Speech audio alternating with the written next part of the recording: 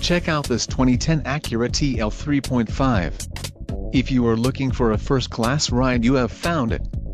This vehicle comes with a reliable six-cylinder engine, connected to a smooth shifting automatic transmission.